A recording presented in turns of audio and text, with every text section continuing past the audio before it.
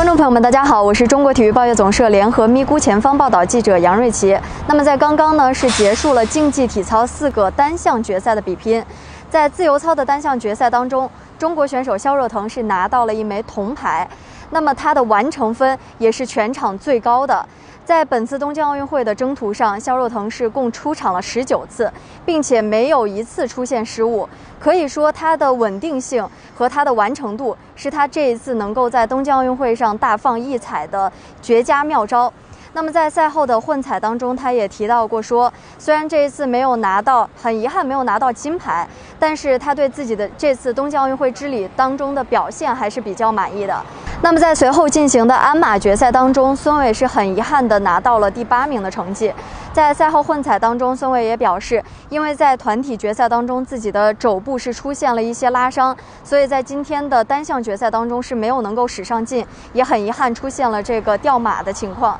那么他在这个我们的采访当中也表示，其实，在手部出现了这样一个受伤的情况下，他曾经有过想要放弃的这样一些想法，但是又想到说这是自己的第一届奥运会，那么只要能站上奥运会的呃赛场上。自己就是最棒的，那么他也珍惜每一次能够在奥运会当中的出场机会，所以今天还是坚持完成了比赛。我们也祝福这两位选手，呃，身上的伤病能够早日康复，再战巴黎。在随后进行的高低杠项目上，中国小花两位呃选手是一位。范逸林是拿到了第七名的成绩，卢亦菲是拿到了呃第四名的成绩。虽然只有零点一分之差，但是卢亦菲今天的表现还是让我们非常值得称赞的。因为在赛前，其实我们非常担心卢亦菲的状态。她在团体和个人全能决赛当中，在高低杠这个项目上都出现了掉目的情况。在决单项决赛开始之前，之前我们也非常担心